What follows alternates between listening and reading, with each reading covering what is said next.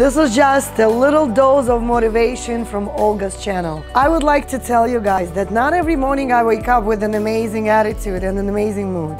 There is some mornings that I just feel very cranky and I don't want to do absolutely none of this. But in the end of the day, I clearly understand that the world and people that follow me absolutely enjoy everything that I say and do. So uh, please understand that sometimes we get in a position where we have to really switch the bar and get out of our comfort zone and really do the things that we don't feel like doing.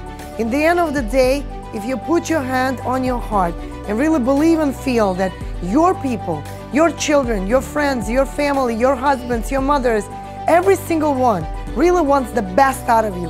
And the only way to do it is when you work on yourself, when you really bring the best out of yourself into this world and hopefully make this place a better place.